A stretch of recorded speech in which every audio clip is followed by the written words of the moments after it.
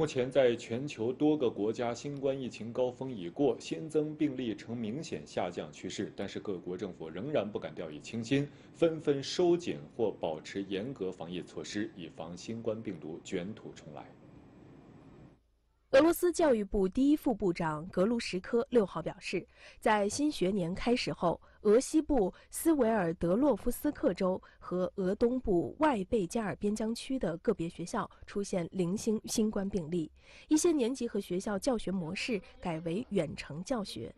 在莫斯科和其他很多已经恢复当面授课的地区，只要家长通过书面形式申请自己孩子上网课，学校也会允许。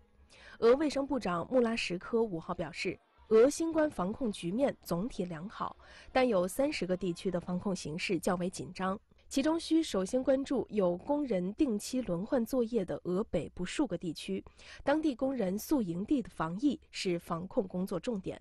韩国首尔市政府六号宣布，未来一周内，首尔市所有大排档、路边摊和移动餐车等，在二十一点后禁止顾客在摊位就餐，以响应防疫部门延长首都圈加强版防疫措施的决定，遏制疫情扩散。首尔市代理市长徐正协当天在记者会上说：“现在是兼顾防疫和民生，努力让生活回归正轨的黄金时间，希望通过收紧防疫措施，遏制疫情扩散势头。”徐正协表示，虽然首尔市的单日新增确诊病例数回落至一百例以下。开始呈现下行趋势，但感染途径不明病例的比例超过百分之二十，无症状感染者比例接近百分之四十，依然不可掉以轻心。尽管新增新冠病例呈减少趋势，澳大利亚疫情重灾区墨尔本市仍无法于本月中旬按时解封。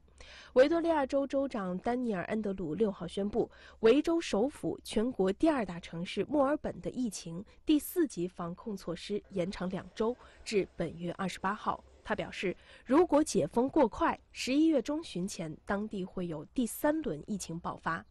墨尔本七月八号起封城六周，但没能有效控制疫情。八月二号，安德鲁宣布维州进入灾难状态，墨尔本疫情防控措施调升至第四级，实施宵禁。